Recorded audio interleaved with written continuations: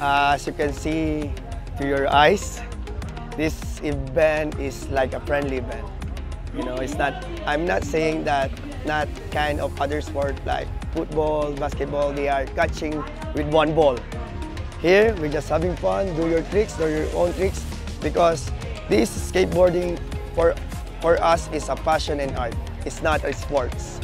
Yeah. Once you love skateboarding, we love you guys. The art or for the expression from yourself, if you are if you are stressed, depressed, you can go ahead and release your stress to the board.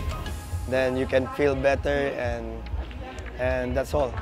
Uh, this event today is a celebration for Go Skateboarding Day for nationwide.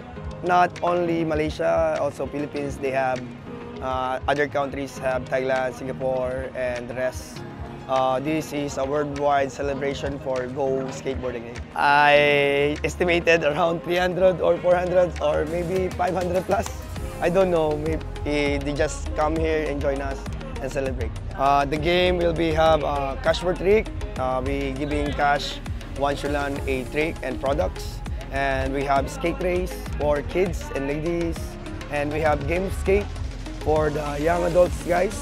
We have best uh, best trick open category that will be including all the all the all the skater want to participant.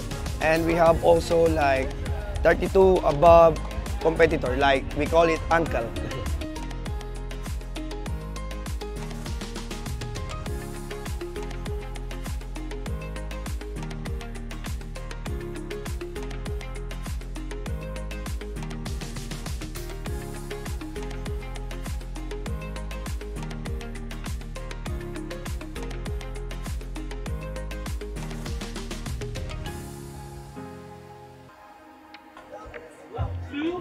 menyatu padukan uh, setiap generasi tak kira umur, bangsa, negara, no matter where you are, where you from, don't care what you did, as long as you are skateboarder, so kita akan jumpa sama-sama. Actually, there is nothing to achieve.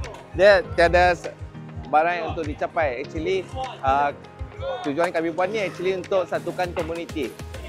Okay, selama ni yang kadang-kadang ada komuniti setengah komuniti yang jauh, ada setengah komuniti uh, dari Indonesia, dari Singapura datang, they didn't do anything, so we try to this is together everyone.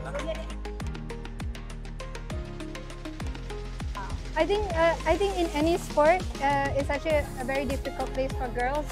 Um, almost every sport is, is dominated by boys and men, but I see a lot of girls who, who are who are brave to learn um, there are not many of us because for every 10 boys that skate, 7 girls will skate and there will be dropouts because of a lot of things.